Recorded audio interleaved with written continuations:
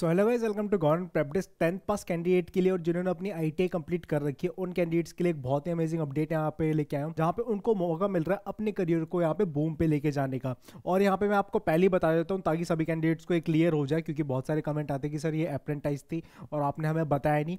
तो ये आपकी एक प्रॉपर अप्रेंटाइज होने वाली है, जहाँ पे आपको एक साल तक की ट्रेनिंग दी जाएगी, जिसमें आपको प्रैक्टिकल एक्सपोजर दिया जाएगा कि एक इंडस्ट्री एक जगह पर काम किस तरीके से होता है। और ये गवर्नमेंट ऑफ़ इंडिया का पार्ट है तो यहाँ पे आप ये चीज़ भूली जाओ यहाँ पे किसी तरीके का फ्रॉड होगा। सारी चीज़ें ऑफिशियल तरीके से ऑफिशियल वेरिफिकेशन से यहाँ पे करी जाएँगी। इसके अलावा जो कैंडिडेट यहाँ पे इस अपॉर्चुनिटी के लिए इंटरेस्टेड नहीं है मैं आई बटन में एक वीडियो अटैच करता हूँ। वहाँ पे आप जाके work from home part time work यहाँ पे करके एक अच्छी इनकम को अर्न कर सकते हो। मैं चाहूँगा आप वहाँ पे उस वीडियो को प्रॉपर पूरा देखें क्योंकि वो वीडियो जो है वो स्टूडेंट्स के लिए बहुत ज़्यादा बेस्ट यहाँ पे होने वाली है। क्योंकि स्टूडेंट्स को एक ऐसे वर्क की नीड होती है जहाँ पे वो कम टाइम में एक थोड़ा सा अच्छा इनकम अर्न कर पाए और अपने सर्वाइवल को यहाँ पे बेटर कर पाए। सो so, किसी सो so, किसी को यहाँ पे उस टाइप का अगर वर्क चाहिए तो वहाँ पे वो उस वीडियो को जाके देख सकता है। इसके अलावा यहाँ पे जो लोग हमारे टेंथ पास और आई वाले वो अगर यहाँ पे एक पक्का वर्क चाहते हैं तो वो यहाँ पे मेरे साथ इस वीडियो को ज़रूर आगे तक वॉच करें।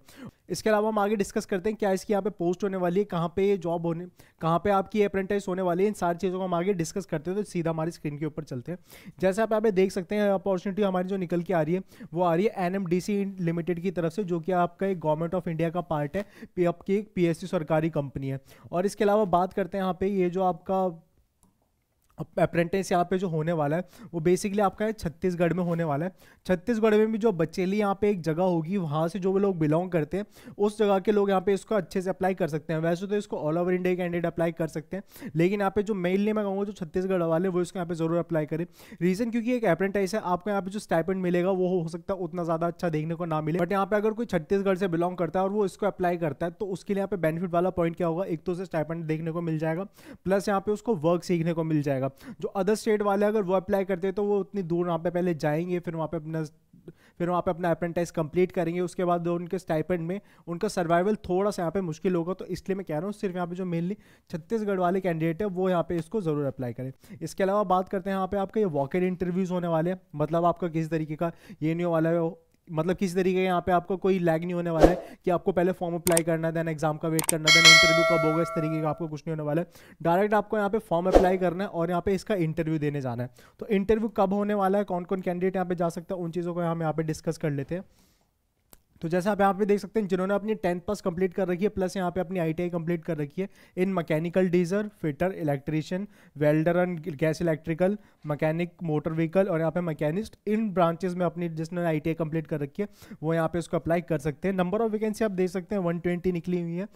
पच्चीस मैकेनिकल में, फिटर में बीस, इलेक्ट्रीशियन में तीस, वेल्डर में यहाँ पे बीस, मैकेनिक व्हीकल, मोटर व्हीकल में बीस और यहाँ पे आपका मैकेनिस्ट में पाँच वैकेंसीज निकाली गई हैं।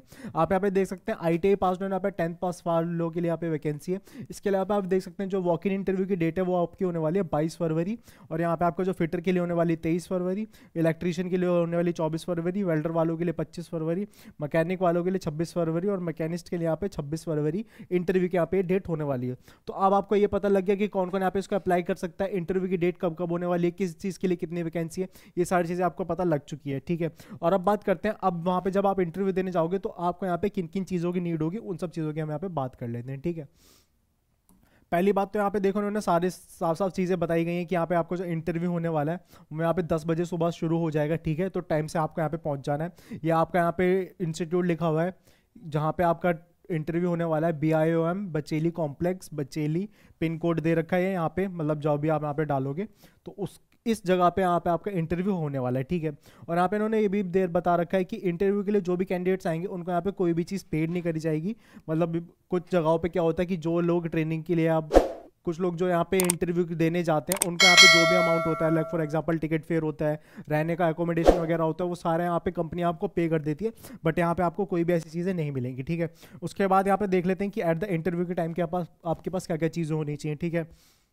जब यहाँ पे यहाँ पे इंटरव्यू देने जाओगे तो आपके पास अपना एक रिज्यूम होना चाहिए, उसके बाद आपका एक पासपोर्ट साइज़ फ़ोटो होना चाहिए, इसके अलावा आपके साथ अलग उसके अलावा आपके पास यहाँ पे डेट ऑफ़ बर्थ होना चाहिए पैन कार्ड होना चाहिए, आधार कार्ड होना चाहिए बैंक अकाउंट डिटेल्स होनी चाहिए और आधार कार्ड से आपका लिंक होना चाहिए, वो सारी चीज़। उसके पास आपके पास एड्रेस का प्रूफ होना चाहिए क्वालिफिकेशन सर्टिफिकेट है कास्ट सर्टिफिकेट ये सारी चीज़ें आपके पास होनी चाहिए। फ़ोटो कॉपी भी होनी चाहिए और यहाँ पे पास आपके पास हार्ड कॉपी मतलब ओरिजिनल वाले में यहाँ पे होने चाहिए। हर तरीके से सॉफ्ट कॉपी वगैरह सब चीज़ें आपके पास यहाँ पे अवेलेबल होनी चाहिए, तब जाके आप यहाँ पे इंटरव्यू देना आना, ठीक है? इसके अलावा बात करते हैं, यहाँ पे आप देख सकते हैं कि इन्होंने साफ़ साफ़ बोला हुआ है